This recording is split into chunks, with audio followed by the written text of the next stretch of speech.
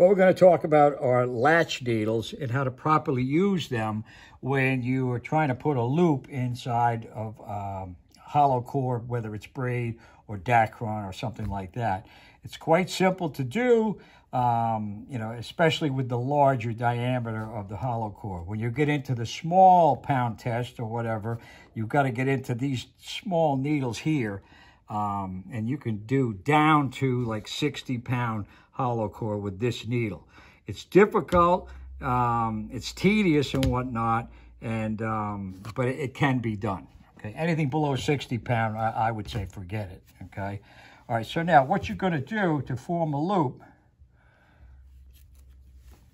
like this, okay, and that loop splice is 100% of the strength of the line, and it's not going to come apart if it's done right right? And I'm going to use this middle needle here. Okay, we have the small one for the 60, 80, and 100 pound. This one here for big, larger, and this one here is for very large um, Dyneema and things like that.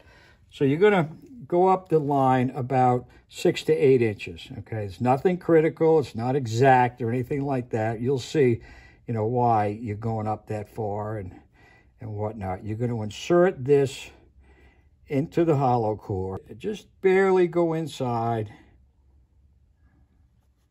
Work it so it's inside the core. Okay, see how it's in there? And I'm working it up, okay? So just push that up, you know, about, you know, the same length as what you started out with here. Push it out the side like that. Now you've got the hook of the latch needle. Going to grab a couple inches, Put the line right in there. Make sure the line is tight in there and then close the latch. Okay, now that's ready to be pulled back through.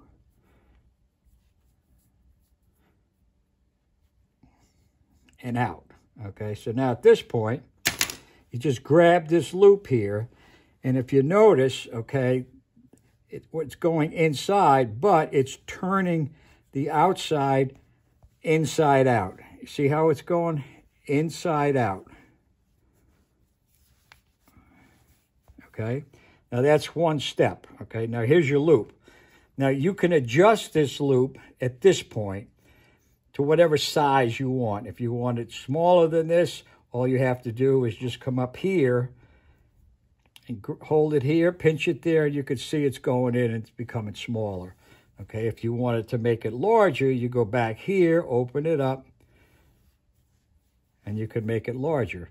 All right, now, to finish the knot, or the, uh, the loop splice, you're going to come back up here. All right, you could see how long that tag end is, okay? So you only want to do about the same amount of splicing as you did here, okay? So, and it does, again, doesn't have to be exact, okay? So now you're just going to come back here with your needle, I should say this right here, you're going to go in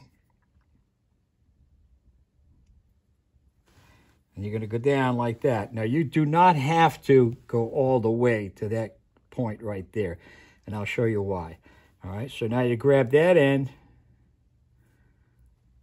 just like we did before. You grab this, and you can see it sticking out. All right, so now here's what you got. You got that loop just like there. You want to adjust it so it's perfectly together. So you grab this end and just pull it up a little bit. You come back here, grab this end, and they'll go together perfectly. All right.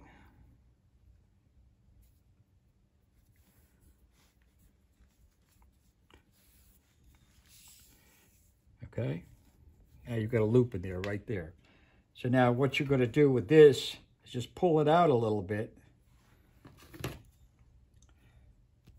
Just cut that tag end off and you'll see it's going to go right back inside.